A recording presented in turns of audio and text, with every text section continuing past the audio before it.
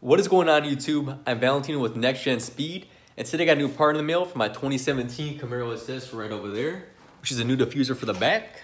So I'm about to open it up, get it checked out, and get it put on the car. Let's see how it looks. You see it's right over here, made by Ikon Motorsports. You can pick this up at nextgenspeed.com. Hook you up.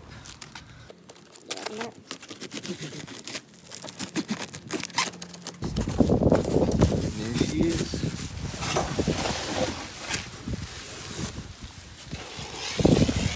Oh yeah.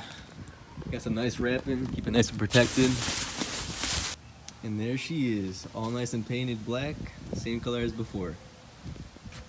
And it is similar to the regular diffuser that comes on the car, but has these cuts in it and these fins, which makes it look a lot better. Instead of just a plain flat plastic piece. Pop out a lot more, makes the car look a lot better. It's about to look killer, especially with these dark and clear reflectors for the back. To put these on real quick with it. Get these at nextgenspeed.com for about 35 to 45 bucks, depending if it's on sale or not. So check that out if you guys want. These are made to match the clear and black tail lights.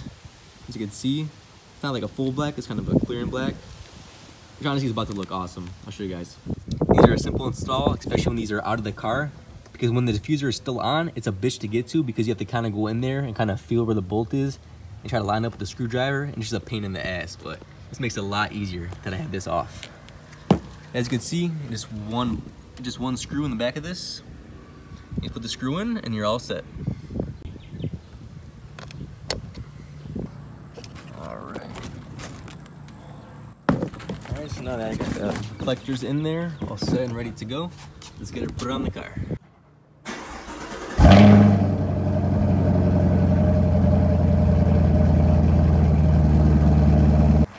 Look at that shit. No diffuser or valence, looking all weird and shit. The big ass bath tube fucking muffler. About to take that out soon actually guys.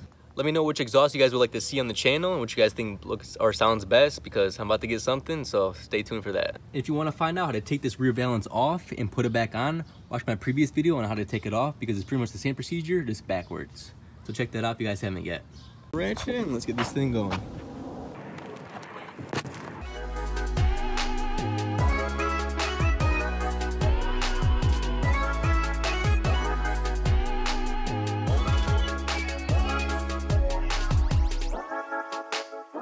She is officially on. Looking badass, looking killer, just like I always wanted it to look. Starting to come along together nice. Get some black tail lights, some other stuff. Just right over there, give you a little peek. But yeah. And it was a bitch installing. Took about like 45 minutes to get it back on.